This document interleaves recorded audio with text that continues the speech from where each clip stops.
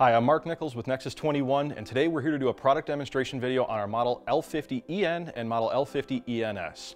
The EN, or enclosure model of lifts, is designed to raise not only your television, but a surrounding box around the TV out of an existing cabinet. The enclosure which surrounds the TV is designed for aesthetics to help cover the back of the television and any exposed wires. The Model L50EN is designed to be a straight vertical pop up and down out of the cabinet, while the Model L50ENS incorporates our swivel mechanism which allows for 180 degrees of rotation in either direction.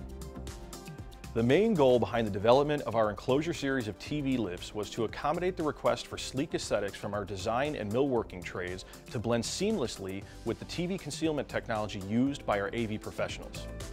While the enclosure series of TV lifts from Nexus 21 incorporate many of the same design elements as our other pop-ups, there can oftentimes be a lot of confusion as to what's going on behind the screen. So we're going to take a moment to break this down and, and show exactly how it all comes together to create a result just like this.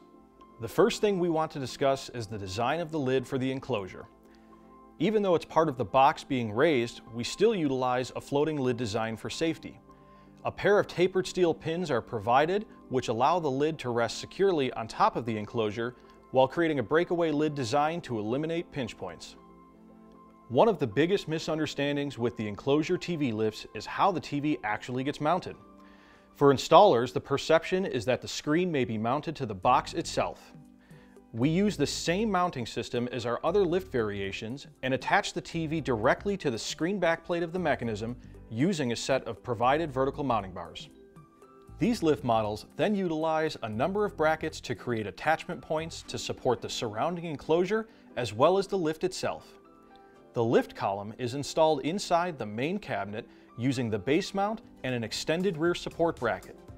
It's important to note that a slot is required to be cut into the interior enclosure, which allows it to retract over top of this bracket. The extended rear support also accounts for the added depth of the rear of the box and spaces the column out to allow everything to fully retract. We then add a series of brackets which allow for attachment of the interior enclosure. The side brackets are fully adjustable to allow the system to accommodate screens from 48 inches all the way up to 60. The upper and lower support brackets attach to the enclosure and provide extra stability while the lift is moving. For more information on the model L50EN, L50ENS, and the rest of the Nexus 21 product line, visit us at nexus21.com.